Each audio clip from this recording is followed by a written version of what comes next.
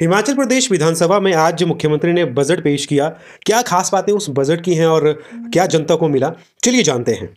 इस बजट में सरकार ने anganwadi worker, ASHA worker, mid day meal worker, जल रक्षक के मानदेय में बढ़ोतरी की है। इसके अलावा अब हिमाचल प्रदेश में मनरेगा मजदूरों को तीन सौ रुपए की दिहाड़ी सरकार देगी। ये सरकार ने इस बजट में निर्णय लिया है। इसके अलावा सरकार पुलिस कर्मियों को आवासीय सुविधा प्रदान की जाएगी और पुलिस कर्मियों की डाइट मनी भी बढ़ाकर अब एक हज़ार रुपए की गई है।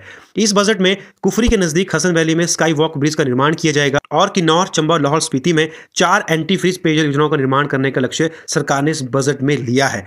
पंचायती राज संस्थाओं एवं शहरी निकाय के प्रतिनिधियों के मानदेय में बढ़ोतरी सरकार ने ने की है और सरकार ने गाय और भैंस के दूध का न्यूनतम समर्थन मूल्य बढ़ाया है। इस बजट के अकॉर्डिंग विधवा महिलाओं को घर बनाने के लिए अब सरकार तीन लाख रुपए की सहायता राशि प्रदान करेगी और प्रदेश में आगामी वित्तीय वर्ष में छह हज़ार प्री प्राइमरी शिक्षक भर्ती होंगे। प्रदेश के कर्मचारियों को एक अप्रैल से चार प्रतिशत के दर से महँगाई भत्ते की किस्त जारी की जाएगी। तो ये कुछ इंपॉर्टेंट बातें हैं इस बजट की जो आपके लिए जानना बहुत इंपॉर्टेंट है। तो ऐसी वीडियोस के लिए आप मुझे फॉलो करें, चैनल को सब्सक्राइब करें।